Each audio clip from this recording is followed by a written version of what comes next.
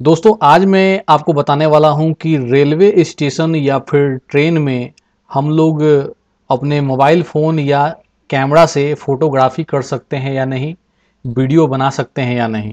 तो railway station पर photography करने के क्या पॉलिसी हैं, क्या रूल्स हैं, क्या हमें परमिशन लेना पड़ता है, या इसके लिए कुछ चार्जेज है, कमीशंस हैं, क्या कैसे हम फोटोग्राफी कर सकते हैं या फिर फोटोग्राफी अलाउड है या नहीं है, ये भी पूरा जानकारी मैं आपको बिल्कुल यहाँ पर बहुत क्लियरली देने वाला हूँ, ताकि मन में कोई डाउट ना रहे आपके।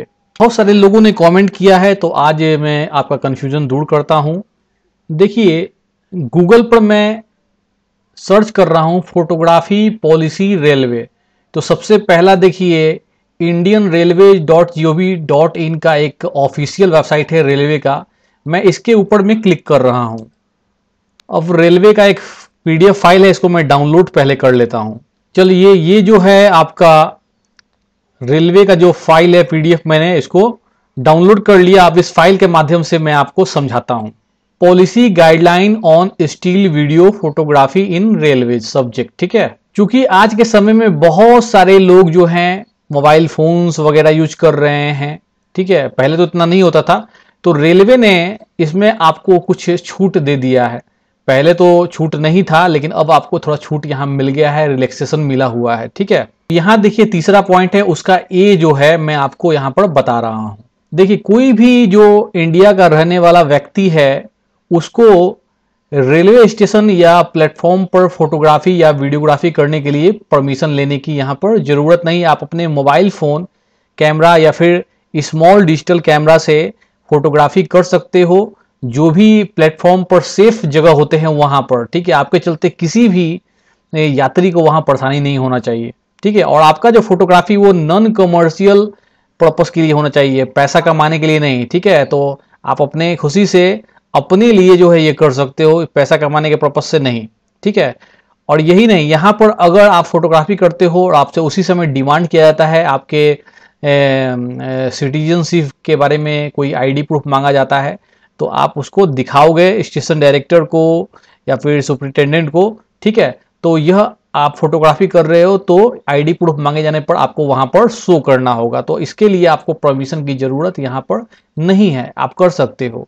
लेकिन याद रखिए, आपको सेफ़ जगह पर ही करना है। ऐसा नहीं कि आप पटरी पर चढ़ जाना या फिर प्लेटफॉर्म के किनारे आ जाना जहाँ ट्रेन आते जाता है, वहाँ नहीं करना है। बिल्कुल सेफ्टी के साथ। और दूसरा बात है कि आपको कोई भी आपके चलते कोई भी यात्री को परेशानी ना हो। इसके बाद ये बी पॉइंट देखिए। यहाँ पर क्या है कि जब भी आप फोटोग्राफी कर रहे हो या फिर वीडियोग्राफी कर रहे हो तो आपके पास वैलिड टिकट होना चाहिए। ऐसा नहीं कि बिना मतलब का आप घुस गए हो, बिना टिकट का प्लेटफॉर्म पर या ट्रेन में, ऐसा नहीं।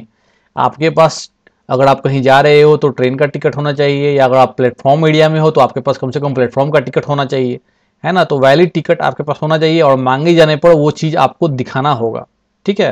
भी रेलवे ऑफिशियल्स होते हैं, अगर डिमांड करते हैं तो वो आपको टिकट दिखाना होगा। उसके बाद सी है, अगर मान लीजिए कोई इंडियन जर्नलिस्ट है, अगर वो कुछ शूटिंग करना चाहते हैं ठीक है अपने कोई प्रोफेशनल इक्विपमेंट कैमरा वगैरह उनके पास है तो उनको जो है एक पहले एक परमिशन लेना होगा, ठीक है?